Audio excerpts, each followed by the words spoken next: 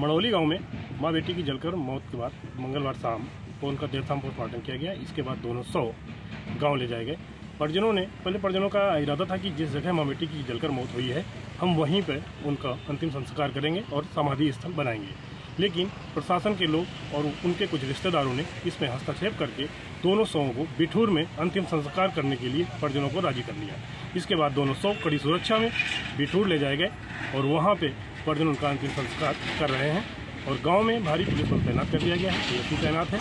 अभी भी गाँव के आसपास से कुछ लोगों का आना जाना वहाँ पे लगा हुआ है। प्रशासन के अफसर लगातार इस पर नज़र बनाए हुए हैं। डीएम भी मौके पर गई थी। इसके साथ ही गाँव में जो अभी तक कार्रवाई हुई है इस मामले में, एसडीएम और लेखपाल सस्पेंड हो चुके हैं। लेखपाल अरेस्ट भी हो चुका है। जेसीबी जो चालक था, वो भी अरेस्ट हो चुका है। इस पूरे घटनाक्रम में लगातार उच्च अधिकारियों की नज़र है। ब्रजेश पाठक ने भी परिजनों को हर संभव मदद का भरोसा दिया है। फ़िलहाल अभी उनको मदद के नाम पर कुछ मिला नहीं है, लेकिन जल्द ही वो मुख्यमंत्री से प्रतिदिन मुलाकात करेंगे और उन्हें शासन की तरफ़ से सहायता दी जाएगी। नवभारत टाइम ऑनलाइन से गौरव राठौर, कानपुर देहात